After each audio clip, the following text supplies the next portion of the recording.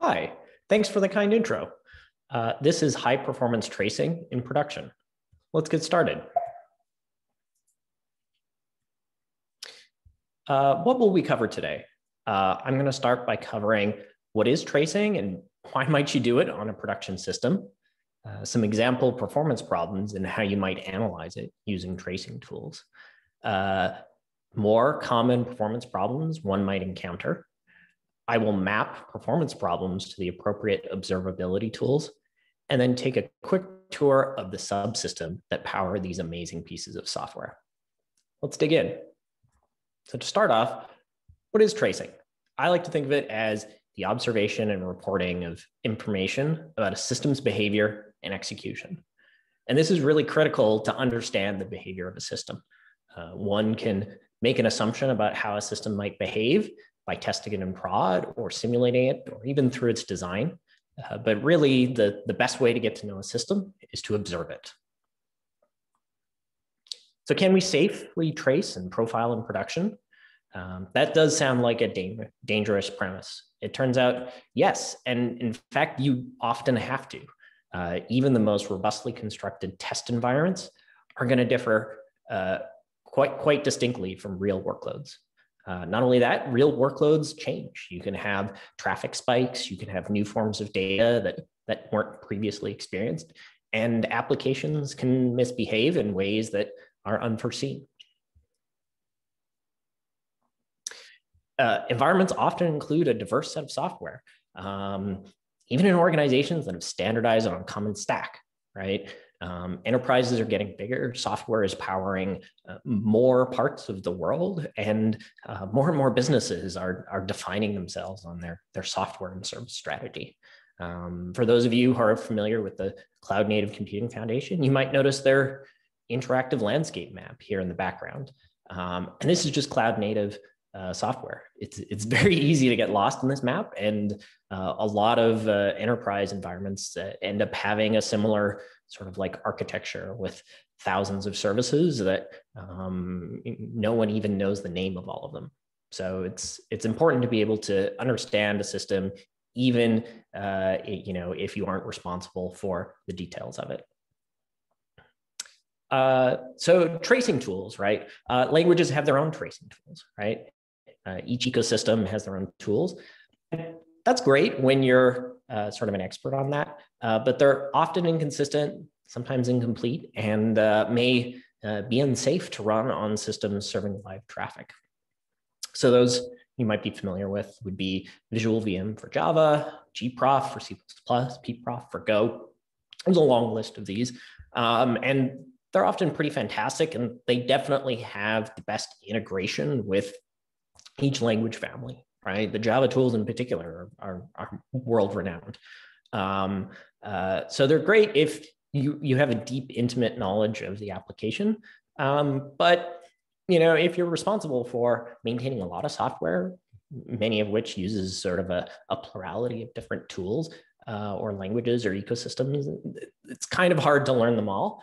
And um, it's often inappropriate, right? If if you don't know the, the tracing tool well, uh, running it in production is like the last thing you, you want to do, right? That just adds risk when you're already in a stressful situation. Um, of course, if the service is down anyway, maybe there's not really that much danger to it. Um, but there actually is a better path, and that's um, to use the standard set of uh, perf-based tracing tools that um, support every workload on Linux. So um, key points here are uh, these tools support tracing all aspects of the system, not just the application layer. So if something is misbehaving on disk or in kernel or on the network layer, uh, there's probably a tool for it. Um, and often you get better visibility into the application layer than language ecosystem's own tools. Um, these tools are, are focused on uh, providing visibility, and uh, uh that's, that's something they do well. Most of them are safe to run on live systems and use only a little CPU and memory. Um, this is not the case for many language specific tools, which you know have deep hooks into the language runtimes that uh, you know maybe slow it down by a factor of two or four, and that's just something you can't really afford to to run in production. Um, and importantly, and this is this is from an operational and learning perspective. Um, it's one tool set that you can use on all the services uh, that an organization might run. Uh, so I like to think of perf events as like the one ring buffer to, to rule them all. So let's dive into a sample performance problem. Uh, we've got here, um, and I'm going to demo a, a, simple web application that accepts requests, it logs the request details, uh, or it logs the request details and then returns a response. Um, and this application is misbehaving, right? It's, it's not behaving as it could. Um, it has hit a limit on the number of requests it processes, but it's not using all the resources assigned to it. It's not using all the CPU, network, or disk resources. Um, and this is a, a, a typical performance problem for which there's no like obvious cause, right?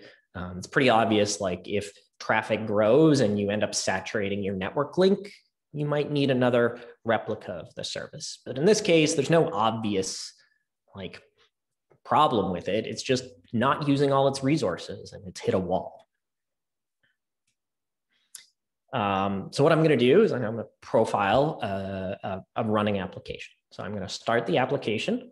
I'm going to run Apache's uh, Apache Bench command to simulate incoming traffic. Um, I'm doing this because uh, I actually don't have this, this environment running in a production environment, and it would be sort of like a little reckless to demo a, a real production environment on a, on a webinar. I'm going to run the profile profiler against it uh, to see what the application is actively working on. Uh, I will run the, the wake up time profiler against it to see what the application is, is waiting on.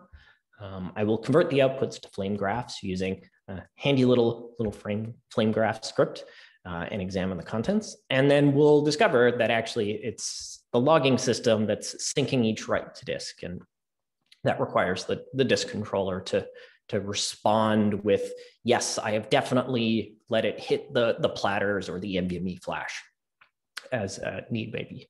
Um, so importantly, this is not a real environment, um, but it's adequate and enough to simulate and, and show and explore the use of the tools.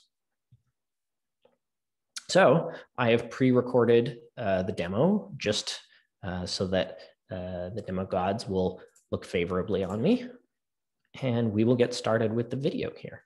So you can see here, we're going to start the application and it's now listening on port uh, 8090. Um, and we're going to run just Apache Bench command against it. And it's now running. And you'll note here that it is not consuming all of the CPU, right? This is all running locally, so there shouldn't be a real like network bottleneck. Um, you know, but we've got we've got plenty of spare CPU and it's it's not using it. Um, and that's, that's not great. So we're going to run the profiler against it. And this is the, the profile script out of the BCC collection of tools from IOVisor. Um, and it has gone and captured and generated this file from 10 seconds of activity. Um, so you'll note entire time the app is running, uh, you know, like CPU usage barely budged for that, that profiler tool.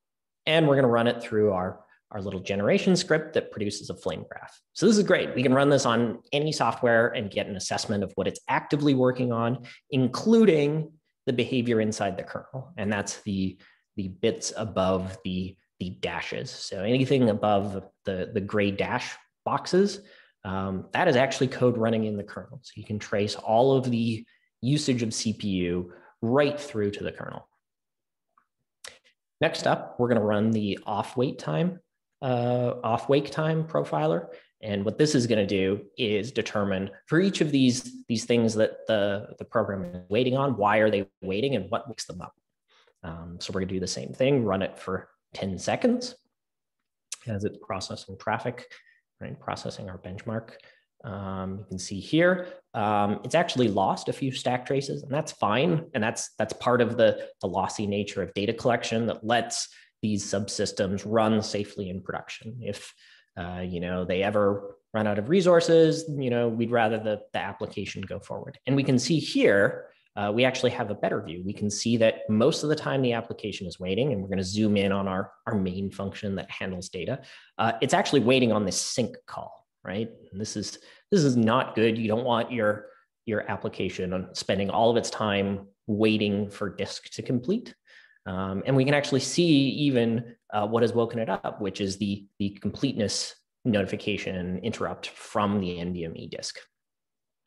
Um, so that's great. We've now determined what the source of this problem is. It's an unnecessary sync call. Uh, it's only processing 1337 requests per second, which is not very leet. Um, so we're going to go in here and, and fix it. We're going to find that sync call and we're going to get rid of the sync. Let's go rebuild the software, start the service again, um, and we will run the benchmark again. And let's see how much resources is this application using. Excellent, that's much better. It's now using uh, close to 100% CPU with uh, some CPU for uh, the, the benchmark, right? Um, so that's great. That's much better, uh, much better CPU usage. Um, we're going to now run our, our profile again.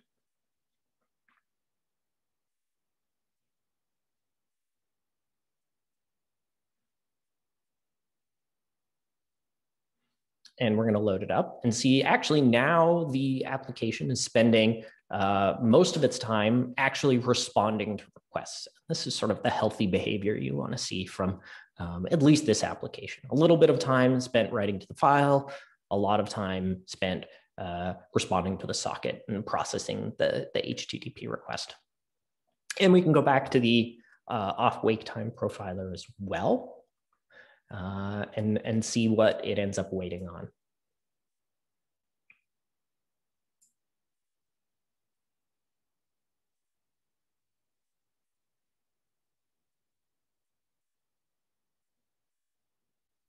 And we're going to wait for this, this benchmark to finish first.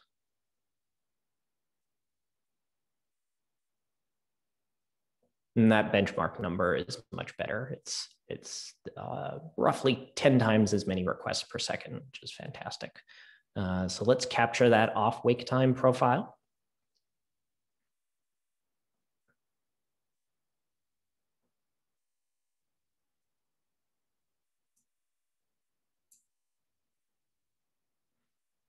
And we can open it up here, generate our flame graph.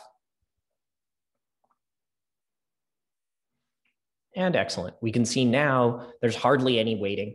It's only internal coordination by the Go runtime. It happens to be a Go program. Um, but that is a much healthier profiler. And uh, you can see we're using making much better use of resources on this machine. Great. Now let's dive in and actually discover during this what the developer meant to do um, is lock uh, mutex instead of syncing to disk because we want log messages to not be interleaved with each other. So we're going to go fix the bug properly. Run the service again. Double check and make sure that it uh, appropriately uses resources and see that it does.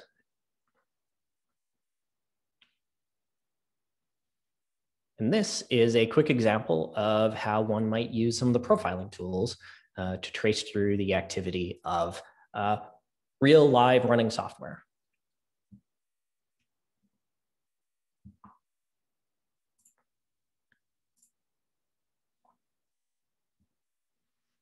Excellent.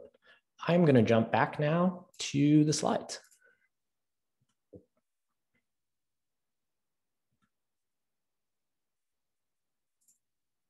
So a quick recap of what we did during the demo. Um, uh, profilers surface relevant information on the application, the system, and the kernel behavior. Um, and this is really important because it gives a holistic view of what was going on in the system. And that is what we saw in the demo. The application didn't need to be run in a special mode or be restarted. Um, we could just jump onto a live system as it's misbehaving run the profiling tools and get information on what is going on. Performance overhead was very low. Um, if the tools are already installed, uh, you can run this on a heavily loaded system. Sometimes even, you know, if a system is so overloaded that it can't even write to disk, um, that can be a problem. So I, I, highly recommend installing the tools by default as part of a, a production uh, deploy, right? You should know what type of observability, what type of visibility you're going to want to debug a system before you've deployed it. Um, and one important thing to note is the data is lossy, uh, and that is to avoid introducing bottlenecks on the running system. We did lose a little bit of data collection, um, but that didn't impede us from tracing and understanding the behavior of the system. Um, and often incomplete information is enough to make really good decisions anyways. And lastly, uh, flame graphs, they're really powerful. Um, they're a summarization of, uh, in the example we looked at, uh, hundreds of thousands of data points organized into a graph that is very easy for humans to understand. And it's a, it's a really good sort of like interchange format between the machine and the human. And uh, um, I found that organizing data into this format is, is very useful, at least when it comes to tracing and performance analysis. So some other common performance problems. Many of you may have seen these before. High application CPU usage, kernel CPU usage, saturated network bandwidth, high memory usage or swapping. Um, that's often the, the end of uh, your production uptime is when your application swaps. Poor disk IO or file cache behavior, um, long tail response latency. This one is often uh, very difficult to trace down. And then of course, good old system or memory contention. And if we were to take a look at sort of like the high level view of, of, of, of a system, uh, the application is actually just one small part of it, right? And uh, there's the hardware, the software, all the different layers in between. The kernel actually plays a huge part in uh, the operation of software. And Linux has tracing tools for pretty much all parts of the system. Um, any part of the system, there's probably some basic tool to analyze data, collect data, uh, give visibility into what is going on, and maybe even summarize it in a way that is accessible to humans. Um, even things like like fans and power supplies, you know, have probes in them and can access that data via Linux tracing tools. Which, um, when I first saw this chart, I was I was really amazed. Uh, um, there's there's tools basically for everything, um, and uh, should get to know them. So let's take some mapping of, of those performance problems we had before uh, to some of the tools we have here. So the CPU usage, we, we demoed this during the, uh, during the demo. Uh, um, we've got the, the main profile too, and we've got dash U for userland and dash K for kernel. For network bandwidth, we can look at TCP top. For high memory usage and swapping, we've got memleak and swap in. Uh, for disk IO or file cache behavior, we've got VFS stat that looks at the virtual file system layer in Linux, cache stat, um, which looks at the caching behavior, and of course, file top. Uh, we've got uh, long, uh, long tail response latency. We've got TCP life, TCP accept, and latency top. Um, there's a good number of other tools here because the network system is very complicated. Um, so definitely recommend more explore, uh, exploration there. And then system or memory contention, we've got uh, off wake time and CPU dist. And this is just a little snack preview of all of the tracing and analysis tools that are available on Linux. So how do they work? Um, the, the, there's a few different approaches to, to, to how they gather data and how it all fits together. Um, and the mechanisms they use are sample-based profiling, dynamic instrumentation, in-kernel virtual machines, which many of you may know as eBPF, and then of course, asynchronous data communication with userland. So sample-based profiling is when you interrupt the system on an interval and just take a snapshot of what it's doing.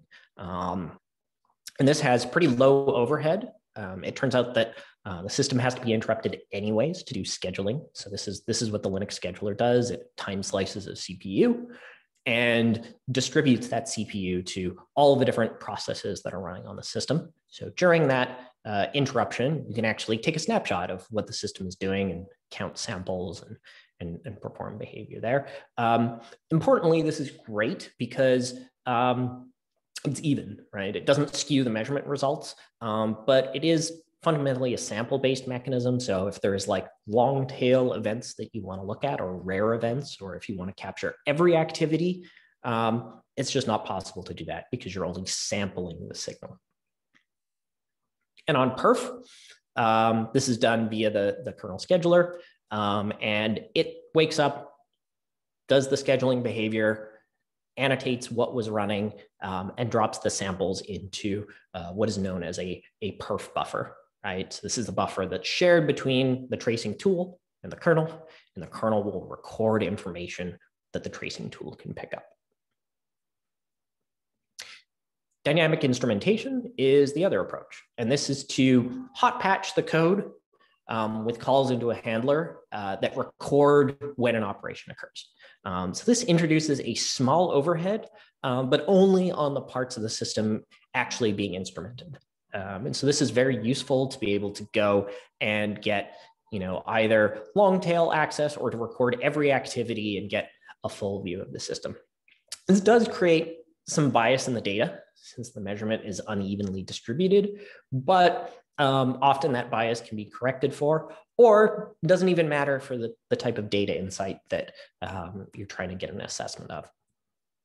So the Linux kernel and perf has uh, standardized safe facilities um, that all tracing tools use um, and are also used in other subsystems of the kernel as well. And so that is trace points. Uh, trace points are dynamic instrumentation points that are uh, placed in predefined operations in the kernel. So things like forking or execing or opening a file uh, might have a trace point annotated in the kernel that probes can be attached to. Uh, K-probes are uh, the safe dynamic patching of arbitrary kernel functions. So almost every function in the kernel can have a K-probe attached to it uh, that can then trap and um, record data that can be uh, picked up by the tracing tool.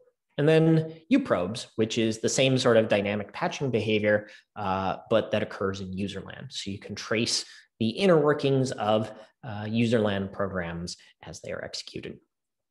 And just like the sample-based profiling, uh, data on these operations are written into these perf buffers that are shared with and read by the, the tracing tool. Layered on top of this, and this actually makes uh, you know the difference between uh, some of the traditional tools and some of the more modern tools, is this this idea of an in-kernel virtual machine. And on Linux, this is realized through the use of eBPF. Um, and this technology allows, instead of writing directly into the buffer, a tiny little program can be run uh, inside the kernel as the data is about to be collected uh, that makes decisions on what to do with it. Um, so it replaces that, that copy into the buffer uh, with a run of this program. And this can do um, really anything. Um, it has to have you know, a fixed amount of execution because it's very important that the normal operation of the kernel not be interrupted. Um, but you can do a lot in a fixed amount of time, including custom summarization or filtering or you know like histograms. Um, and a lot of these tools just just go and, and perform all of their analysis incrementally in, in kernel as the data is collected and have a tiny little drop of data coming out the end. Um, for those of you writing eBPF programs, they must terminate in a provably bounded number of cycles um, and cannot block. And then lastly is this, this asynchronous data communication. Um, and this is how these tiny little programs or this copying of ring buffer the data um, in the kernel actually gets back to your hands as an operator, right? Um, so all of this thing, all of this behavior of tracing this activity happens in the kernel. It gets copied into either ring buffer or eBPF maps. Um, and then the tracing program will either periodically or at the end of its activity um, read these ring buffers or maps and then convert them to sort of a, a, user visible form. So something that might be useful for a human. So either a text output or a graph or something like that. Um, and, and this is really critical because um, this sort of like asynchronous communication model means that um, you have fixed amount of uh, activity that happens in the kernel incrementally, um, and then the, the tracing tool never stops the workload from running. So it, it never interrupts. And that means um, it has a little bit of overhead, but um, you can rely on these tools uh, never to disrupt a production system. And so a recap, use the tools. They're fantastic. They work great. Um, they're low overhead. You can use them on pretty much any software. Um, I didn't have to do anything special to get my demo running. I just used the standard toolchain built to, you know, misbehaving demo app, ran it, and the tools just worked. Um, and they pointed me directly at the problem that the application was experienced. They're fast, they're safe, and they're consistent between uh, you know all the software you might run. If you're running hundreds of different applications and services in production, um, learning a hundred different set of tools to maintain them is just it's not possible. Um, so get to know a consistent set of tools and uh, use them on everything. Um, and you can rely on them to provide that visibility into all the software you might run on a Linux system. Um, they're, they're there. Um, get them deployed in your pre-prod and dev environments. Get to know them, run them against your software, and discover how that it behaves. Discover the inner workings. Discover what your your teams are actually doing. Uh, and I'd like to point out big thanks to all the contributors uh, to the Linux performance subsystem. Um, this, like seeing the growth of it over the last decade or so, um, it's really a phenomenal system that exposes a lot of data and makes working with production services a lot easier, uh, even when they misbehave. Um, and then, of course, the IOVisor project and Brendan Gregg for building some of these tools. Um, they're really great. BCC um, is just a, a joy to work with and put them to good use. Um, and that is uh, the content I've got to cover today. Um, thanks for attending. I'm Ryan. I work at Capsule8, where we use uh, some of these systems to build security tools. Um, and uh, I will now take questions.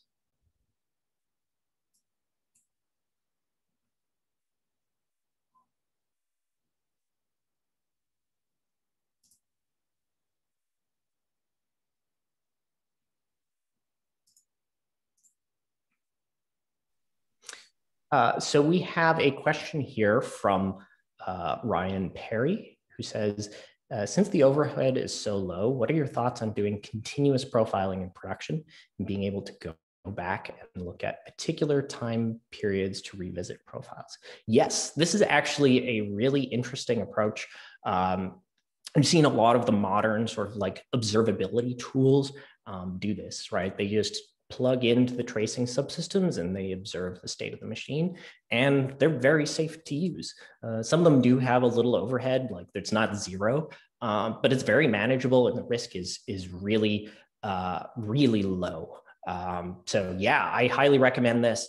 Um, and we see uh, vendors from sort of taking and, doing this from multiple angles. We're certainly doing it from the security angle, um, but definitely the the ops folks are are ahead there. They want to understand how systems behave. They want to continuously know if the system is healthy and what's going on, um, and and they've been doing it for a while now.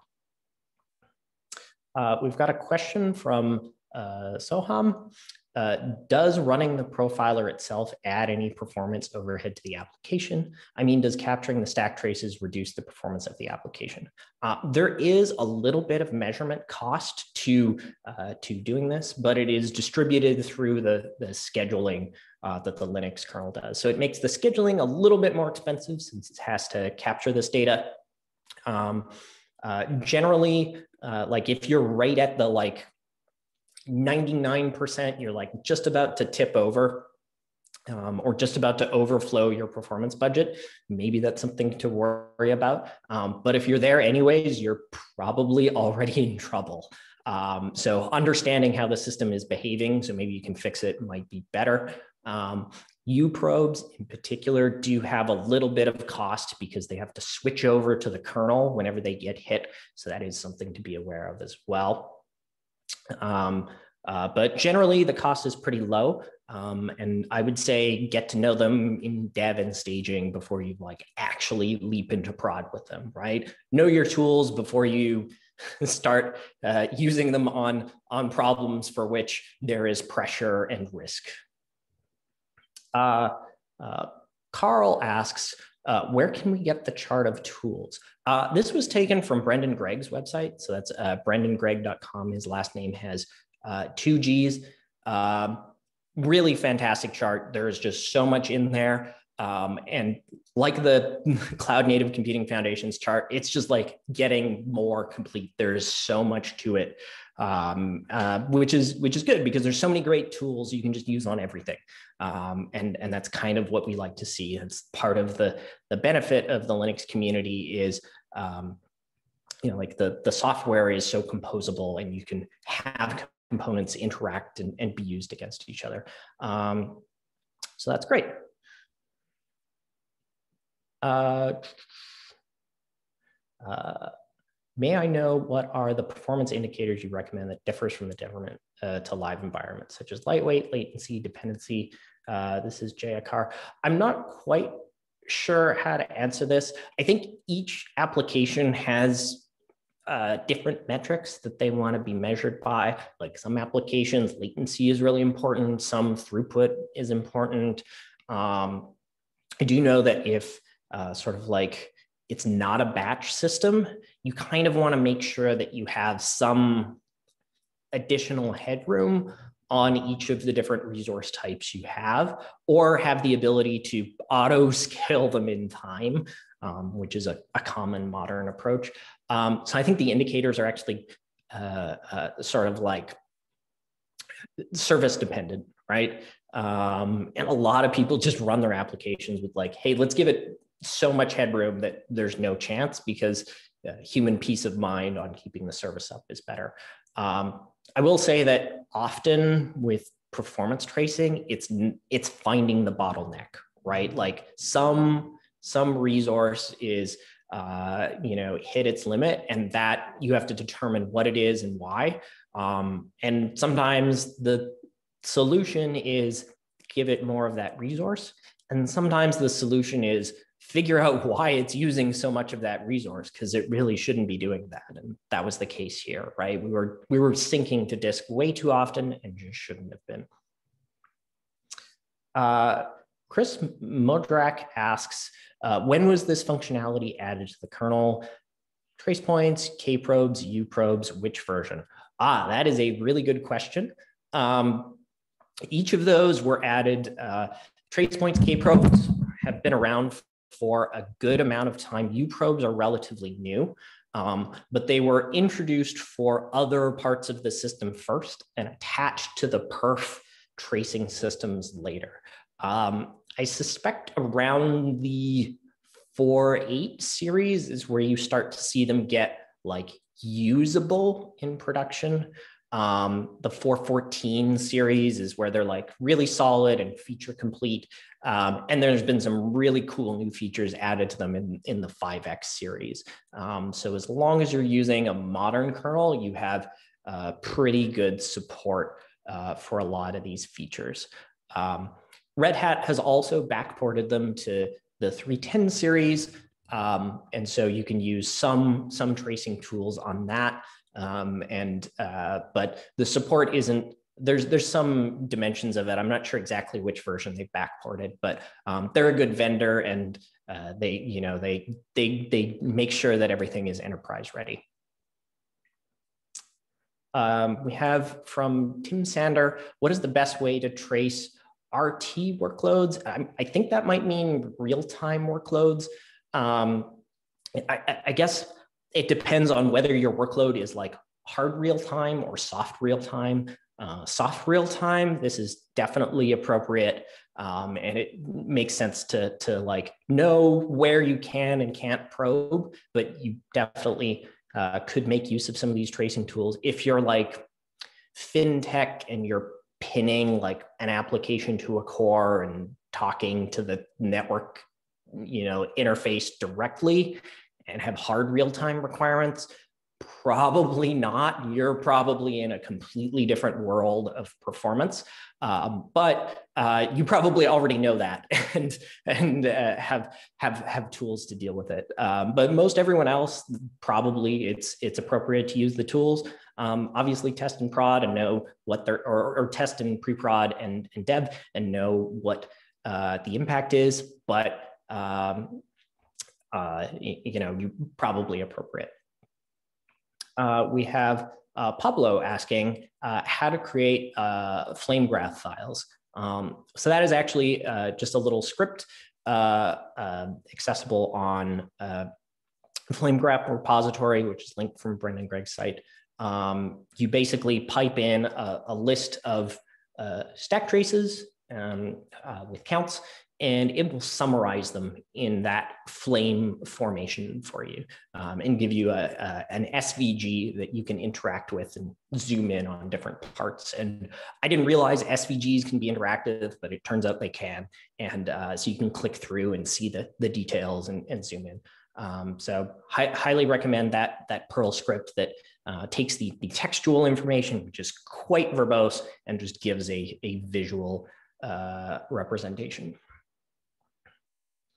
Uh, Ricardo asks, is there a similar tool such as AB for Nginx uh, that I have used or recommended? Um, actually, the Apache Bench tool is pretty great. Um, uh, it, it is limited and then it only does one kind of request. You tell it what request to do and then it like does that repeatedly. So it's not great if you want to test like a whole distributed, you know, like how does the pattern of user activity replaying production traffic it's not good for that. But just for a simple demo like this um, you can run apache bench against any uh, any web service you know server that that runs. Um, and indeed i didn't run it against apache. I ran it against my little my little toy web application. Uh, chris asks are there any books that you can recommend on this topic? Um, there are, I don't want to give a, a specific endorsement here because um, uh, I'm not sure if it's appropriate to do that. Um, there are plenty of books on this topic. And um, if you send me a message on Twitter or ryan at capsule8.com, I'd be happy to follow up with that. Uh, uh, Promise asks, just a follow-up question with monitoring tools like New Relic, Stackify, uh, having their agents installed on production servers, do we need to install these Linux tracing tools on the production servers as well? Um, in many cases, like uh, vendors are coming into the space, they're often commercial tools that let you like sort of do this from a like agent in the sky. Um, if those tools work for you, great, use them. Um, I don't think they quite offer the same level of visibility as the open source stack does. Um, but it's really great to have a vendor that you can talk to that like can help you through it. Um, and in many cases, like vendors are advertising, hey, we have eBPF and we use perf, um, which is really great because then you mean you you know they're going to be safe, right? Um, because they have the same properties as these open source tools. So um, the, the same thing applies to those vendor tools as does uh, these, these, these perf event tools. Uh, uh, Michael asks, uh, to add to Ryan's question, would any data cleansing required to build a useful dashboard? I think that depends on how sensitive your data is. Um, everything we've seen here that I looked at doesn't have sensitive data. There's no like stack traces. I'm not sure how they could be considered sensitive. Maybe someone could make an argument uh, for them to be. Um, there's definitely the case where you can get sensitive data, right? Um, so things like exec snoop or IO snoop or that sort of thing, you can get file names or you can get process names. Um, and the tools, the probes are very sensitive. You can put, uh, you can sniff network traffic, you can do anything like that. So definitely you can get access to sensitive data. All the tools I demoed here, you could put them in a dashboard and, and not worry about it.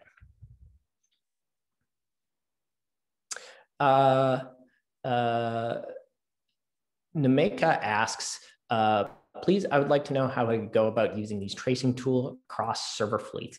I think there are some vendors that um, offer this sort of thing. I think a few of them were mentioned in earlier questions. Um, Uh, some of those are great. Um, I think there's some some like homegrown automation open source projects as well that, that will do this. Um, yeah, there's there's a lot of different options here. I think some of the space is emerging. Um, I definitely like to see uh, some more tools to be able to not just do this when something goes bad, but like to be able to run these and collect the data historically, and then ah, like something is going bad. Let's compare today's view to yesterday's view when the system was healthy. Uh, Alexander asks, is it still in kernel eBPF mechanics when we use uprobe for user space trace? Yes. Uh, so the way the uprobes work is they trap to the kernel, which incurs a uh, user space to kernel transition. The kernel BPF program runs and then it transitions back. So there actually is more of a cost to uprobes than to, to kprobes. Um, so that may or may not be relevant for the application. Um, most of the tools on here aren't aren't uprobe based, but that is uh, something to know. Excellent. And that is it for Q&A today. Um, thank you all for coming. I will hand it back over to the Linux Foundation. Great. Thank you so much to Ryan for his time today. And thank you to all the participants who joined us. As a reminder, this recording will be on the Linux Foundation YouTube page soon. We hope you're able to join us for future webinars. Have a wonderful day.